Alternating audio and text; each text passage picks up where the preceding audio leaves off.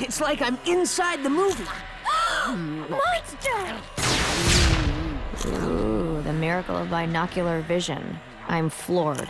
Can we go now? I don't think these things work on me. Stupid cybernetic eye.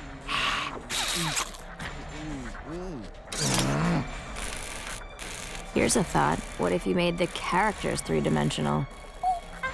With the Titans entranced by this movie masterpiece, they'll be utterly defenseless when I, their arch nemesis, Control Freak, burst through the screen to Ripley them a new one!